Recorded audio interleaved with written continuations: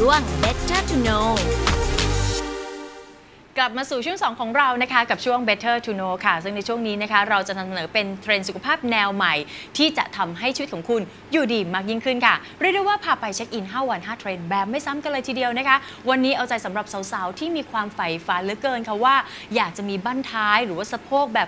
สวยๆ งามๆ เรียกว่าเป็นบั้นท้ายที่ fit and firm นะคะ เพราะว่าถ้าคุณผู้ชมยิ่งได้เห็นนางแบบที่มีบั้นท้ายสวยๆ แล้ว แน่นอนก็คงจะรู้สึกอิจฉาตาร้อนกันอย่างแน่นอนเลยทีเดียวนะคะวันนี้ทางรายการของเราก็เลยมีท่าออกกำลังกายค่ะ ที่จะช่วยเพิ่มบั้นท้ายสาวๆนี่แหละค่ะ ให้รู้สึกกระชับได้รูปมากยิ่งขึ้นเลยทีเดียวค่ะ วันนี้พูดมาขนาดนี้แล้วนะคะคุณผู้ชมค่ะเราจะพาคุณผู้ชมนะคะ ไปดูว่าท่าบริหารสำหรับบั้นท้ายที่ Fit and Firm เขาทำกันอย่างไร ไปชมพร้อม ๆ กันเลยค่ะช่วง Better to Know สภาพบั้นท้ายที่ย้อยดูไม่เต่งตึงไม่ได้ขึ้นอยู่กับอายุอานามหรอกนะคะ เพราะเราจะพบว่าสาวๆ ก็มีบั้นท้ายที่ย้อยได้เหมือนกัน ซึ่งนั่นก็เป็นเพราะสรีระพันธุกรรม และไขมันที่สะสมอยู่ตามส่วนต่างๆ ของร่างกายเรานั่นเอง ที่เป็นตัวกำหนดรูปลักษณ์ของบั้นท้ายเราให้หย่อนคล้อยดูไม่สวยงาม แต่ไม่ต้องไปสนใจในจุดนั้นค่ะ เพราะถึงแม้บั้นท้ายจะย้อยออกมา เราก็สามารถออกกำลังกายให้ fit and firm ได้โดยวิธีดังนี้ค่ะ วันนี้นะคะครูอีฟเลยมีเคล็ดลับดีๆ มาบอกนะคะ เกี่ยวกับการลดสัดส่วนของเรา การกระชับบั้นท้าย การทำให้ก้นของเรานะคะ เด้งสวยตามที่เราตั้งใจไว้นะคะ วันนี้ก็มีเคล็ดลับดีๆ มาบอกอเดี๋ยวให้ สาวๆ หลายๆ คนนะคะ มาศึกษากันเลยดูค่ะว่า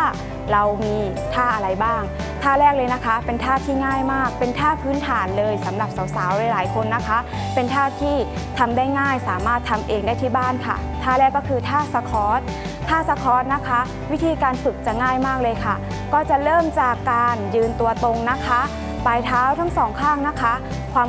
ความห่างของเท้านะคะ ประมาณ 1 ช่วงไหล่นะคะ เราจะจินตนาการว่าเหมือนเรากำลังนั่งเก้าอี้นะคะ เราค่อยๆยย่อเข่าลง หัวเข่าไม่เกินปลายเท้า มองหน้าไปทาง หน้าตรงมองไปทางด้านหน้านะคะ ค่อยๆทิ้งน้ำหนักไปที่ด้านหลังนะคะแค่นี้เองค่ะ แล้วทำสลับกันนะคะ ท่านี้นะคะจะช่วยทำให้กระชับสัดส่วนบริเวณ ต้นขาบริเวณสะโพกของเราทำให้สาวๆนะคะ มีความมั่นใจมากขึ้นในรูปร่างของเรานะคะท่านี้สามารถนำไปทำที่บ้านได้ค่ะ ใช้พื้นที่น้อยมากค่ะ ส่วนท่าที่ 2 ท่าที่ 2 จะเรียกว่าท่าล้างนะคะ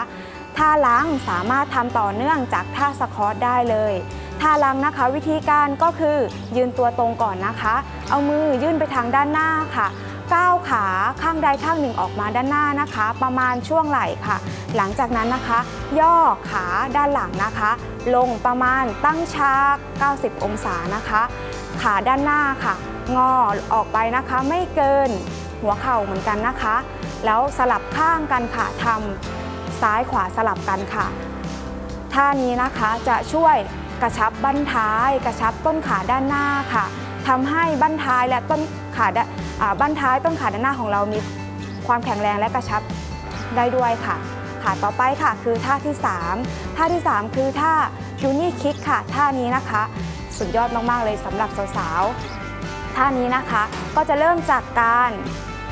นั่งคุกเข่าค่ะพอนั่งคุกเข่าเสร็จปุ๊บค่อย ๆ โน้มตัวลง เอาศอกของเรานะคะ ขนานวางที่พื้น พอวางที่พื้นปุ๊บเอามือทั้งสองข้างมาประสานกันไว้ค่ะ หลังจากนั้นนะคะค่อยๆ ยกขาขึ้นมาค่ะ ให้เข่างอตั้งฉากนะคะ กับพื้นนะคะ แล้วค่อยๆตีเข่ามาไว้ที่เดิมค่ะ แล้วค่อยๆ คลิกออกไปนะคะทำแบบนี้สลับข้างกันค่ะท่านี้นะคะจะช่วยเสริมให้บั้นท้ายต้นขาด้านหน้าและต้นขาของด้านหลังของเรากระชับมากขึ้นค่ะ ท่านี้จะทำให้ก้นของเรานะคะ สูงขึ้นพอก้นสูงขึ้นปุ๊บจะทำให้รู้สึกว่าก้นของเรางอนสวยสมดั่งใจล่ะอ่าต่อไปค่ะคือท่าที่ 4 ท่าทีสี่ 4 คือท่าบิดหรือท่าสะพานนะคะ ท่านี้นะคะ เริ่มจากการนอนหงายลงเลยค่ะ พอหงายปุ๊บตั้งเข่าทั้งสองข้างขึ้นมา เอามือวางไว้ข้างลำตัว หลังจากนั้นนะคะ ค่อยๆ ยกสะโพกขึ้น พอยกสะโพกขึ้นนะคะ ค่อยๆ ยกสะโพกขึ้นและลงทำสลับกันนะคะ ท่านี้นะคะจะทำให้สะโพกและต้นขาของเรากระชับค่ะ ช่วยเน้นหน้าท้องด้วยนะคะท่านี้ให้หน้าอกของเรายืดขยายออกด้วยค่ะ ต่อไปค่ะท่าสุดท้ายคือท่า dumbbell squat ท่านี้ก็จะเหมือนท่าแรกเลย เพิ่มความยากขึ้นมาคือ การถือดัมเบลนั่นเองค่ะ ท่านี้จะทำให้สะโพกและต้นขาของเรานะคะ มีความแข็งแรงมากขึ้นค่ะสาวๆรู้เคล็ดลับแล้วนะคะว่าควรทำยังไงที่จะทำให้ บั้นท้ายของเรา สะโพกต้นขาของเรา มีความสวย มีก้นนะคะ อย่างที่เราตั้งต้องการนะคะ อยากให้สาวๆนะคะนำเคล็ดลับนี้ไปฝึกนะคะทำทุกๆวันนะคะ ไม่หักโหมนะคะทำอย่างสม่ำเสมอ รับรองเลยค่ะว่าสาวๆ จะมีก้นที่สวยมีเลี้ยวขาที่สวยงามอย่างแน่นอนค่ะ ได้เคล็ดลับการออกกำลังกายกระชับบั้นท้ายกันไปแล้ว ก็อย่ามัวรอช้า รีบไปทำตามกันดีกว่า และทางที่ดีควรจะทำอย่างเป็นประจำเพื่อที่จะมีบั้นท้ายสวยๆ แบบไม่ต้องไปอิจฉานั่งแบบที่ไหนอีกไงคะ อย่าลืมนะคะคุณผู้ชมค่ะถ้าใครนะคะที่อยากจะมีบั้นท้ายสวยๆนะคะแล้วก็ฟิตแอนด์เฟิร์มนะคะท่าบริหารที่เรานำเสนอในวันนี้ก็เป็นท่าที่ไม่ได้ยากเลยนะคะ คุณสามารถที่จะทำได้ทุกที่เลยนะคะ จะเป็นที่บ้านตื่นนอนตอนเช้า หรือว่าก่อนนอนก็สามารถทำได้เช่นกันนะคะ แต่อย่างหนึ่งเลยนะคะสำคัญเหนือสิ่งอื่นใดก็คือการออกกำลังกายก็ควรที่จะทำอย่างสม่ำเสมอนะคะทำได้ทุกวันยิ่งดีเลยทีเดียวแล้วค่ะ นอกจากจะได้บั้นท้ายที่สวยงามแล้วนะคะ สุขภาพร่างกายของคุณก็จะแข็งแรงไปด้วยละค่ะ และในช่วงหน้านะคะกับช่วง Daily Expert ค่ะวันนี้เป็นคิวของทองหลังพระ ซึ่งเราจะมาพูดคุยเกี่ยวกับประเด็นอะไรนั้นติดตามในช่วงหน้าค่ะ